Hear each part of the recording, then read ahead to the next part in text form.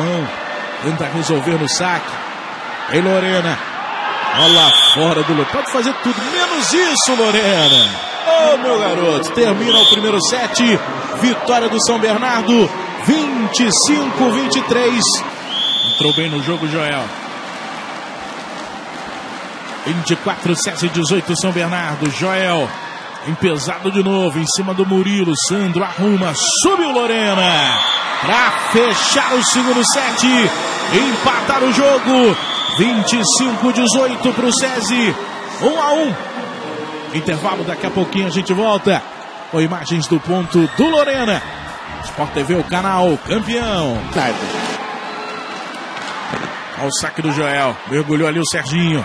Lorena afastado da rede. O bloqueio chega. Bola trabalhada novamente com Lorena. Bloqueio novamente. Murilo insiste. Vem na saída. Bloqueio de novo. Impressionante o triplo do São Bernardo funcionando. E fechando com categoria o terceiro set. Faz 2 a 1 um no jogo. E o bloqueio pegando tudo nesse último ponto. É o Campeonato Paulista de Vôlei bombando na tela do Sport TV. Luizinho, fora, fecha o 7 o SESI. 25 18. Jogo empatado 2 a 2. Nas semifinais, São Bernardo pode surpreender. Bola fora, termina o jogo. Vitória do São Bernardo. 3 7 a 2. Olha só para ilustrar, né?